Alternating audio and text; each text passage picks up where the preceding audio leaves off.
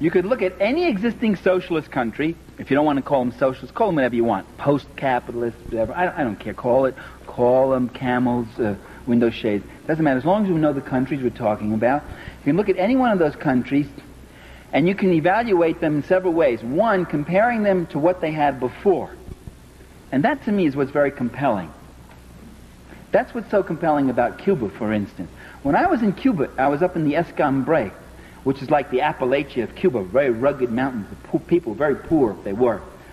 And I said to this campesino, I said, do you like Fidel? And he says, si, si, with all our souls. Just, I remember his gesture, with all our souls. I said, why? And he pointed to this clinic right up there on the hill, which he had, we had visited. He said, look at that.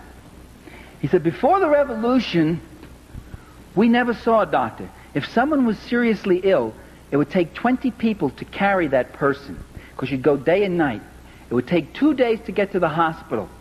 First, because it was far away, and second, because you couldn't go straight. You couldn't cross the latifundio lands. The boss would kill you. So you had to go like this. And often, when we got to the hospital, the person might be dead by the time we got there. Now we have this clinic up here with a full time doctor and today, a doctor in Cuba, when you become a doctor, you've got to spend two years out in the country. That's your dedication to the people. And a dentist who comes one day a week. And for more serious things, we're not more than 20 minutes away from a larger hospital. That's in the Escambray. He said, that's freedom. We're freer today. We have more life. And I talked to a guy in Havana who says to me, before, all I used to see here in Havana, you call this drab and dull. We see it as a cleaner city.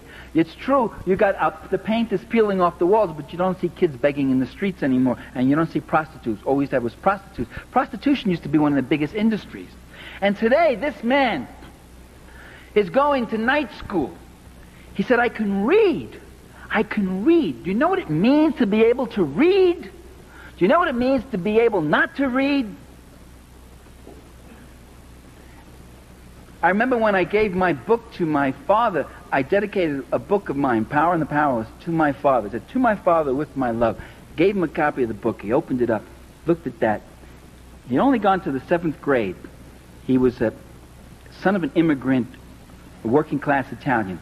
And he opens the book and he starts looking through it. And he gets misty eyed, very misty eyed. And I thought it's because he was so touched that his son had, had dedicated a book to him. That wasn't the reason. He looks up to me and says, I can't read this, kid. I said, that's okay, Dad. Neither can the students. I mean, that's not something. I mean, don't don't worry about that. I, I wrote it for you. I mean, it's your book, and uh, you don't have to read it. You know, it's a very complicated book, academic book. Says, yeah, I can't read this book. And he just and the defeat, the defeat that that man felt. That's what illiteracy is about. That's what the joy of literacy programs is. That's why in Nicaragua you got people walking proud now for the first time they were animals before they weren't allowed to read, they weren't taught to read. So you compare a country to what it came from with all its imperfections and those who demand instant perfection. The day after the revolution, they get up and say, Are there civil liberties for the fascists? Are they going to be allowed to have their newspapers and their radio program? Are they going to be able to keep all their farms? The passion that some of our liberals feel. The day after the revolution, the passion and concern they feel for the fascists, the civil rights and civil liberties of those fascists who were dumping and destroying and murdering people before. Now the revolution has got to be perfect. It's got to be flawless.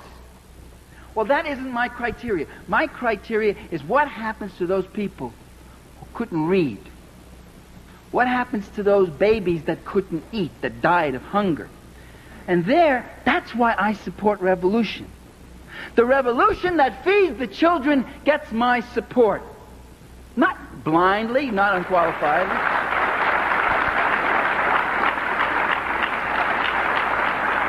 And the Reaganite government that tries to stop that kind of process, that tries to keep those people in poverty and illiteracy and hunger, that gets my undiluted animosity and opposition.